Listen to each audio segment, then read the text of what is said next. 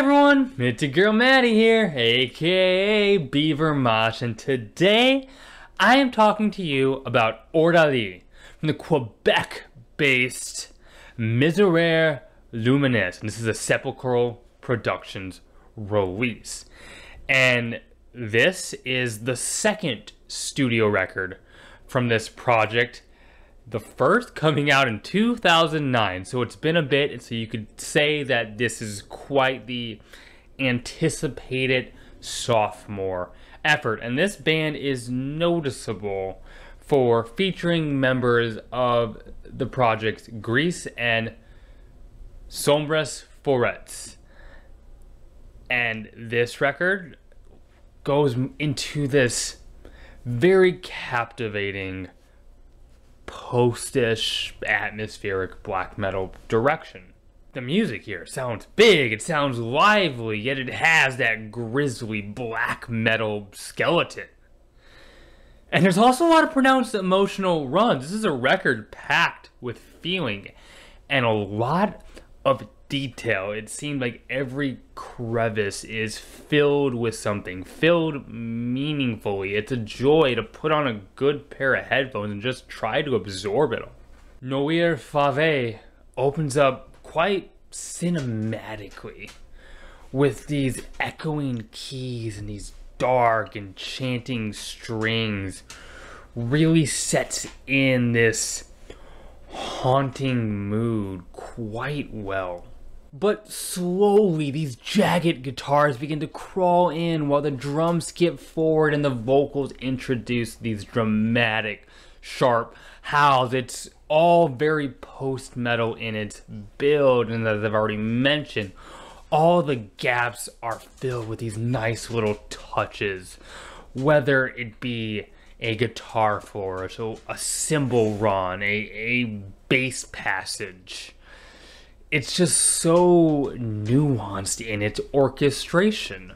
But there's this moment where everything begins to kind of fade just for it all to come crashing down again with fiery aggression and it's there you know that this is going to be a ride it's just so bleak in tone met with this intricate musicianship.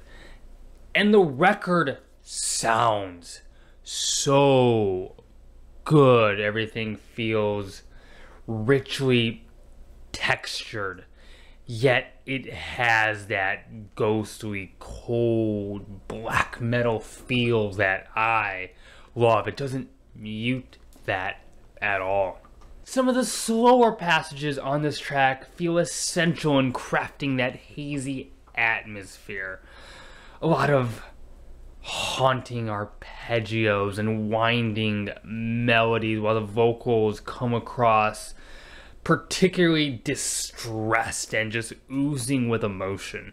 The guitars never seem to get too technical, but they are very effective. Take, for example, these crunchy palm muted riffs. They're heavy, they're sawing, and they're just very well recorded, the way that the guitars interact with each other, working around each individual layer and, and part, it, it works in a way that produces these fascinating tapestries. La Sang des Rêves rides on these complex circular guitar licks and these buzzing bass grooves and the drums sound really bright, but that just allows the very fierce playing to stand out even more. Mixed in are these harsh and aggressive downstrums played with this pulsating gain that's just very dense and heavy, while the other guitar rides off of that with these smoky tremolos all working together for this stellar blackened web. All of the individual layers to this track are so pronounced and present and it makes the whole package feel quite massive and weighty. You feel it pushing up against you in the most fascinating of ways.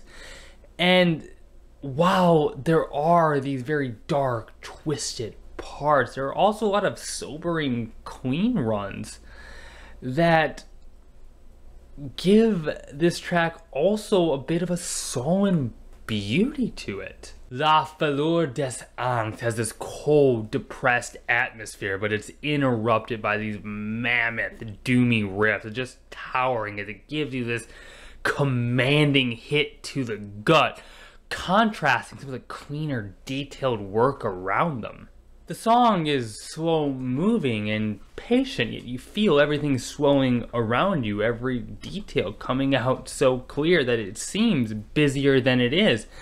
And that's quite impressive while everything kind of races towards this skyward peak. It's really a fantastic example of this crescendo technique. Les Couleurs de Perte starts as this instrumental with cold strings and shimmering guitar cycles.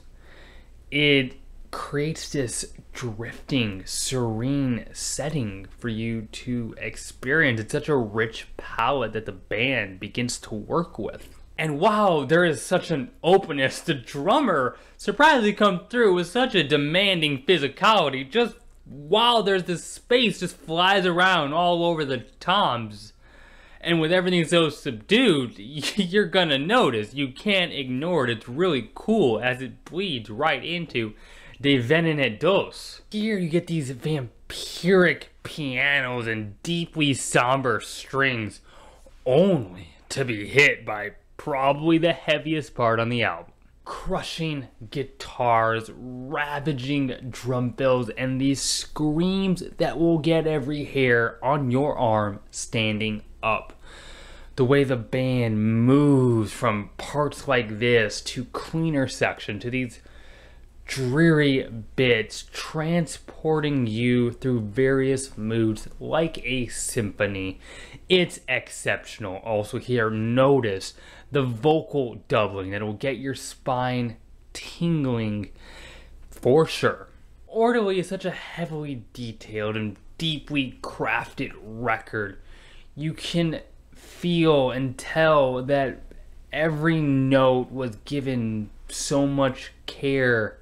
Every moment comes across completely intentional. The production is breathtaking. Such a full crisp sound that still allows its harshness to really grip you. And to say this album is atmospheric would be kind of an understatement. The environment that they transport you into is so mystifying and hypnotic and effective.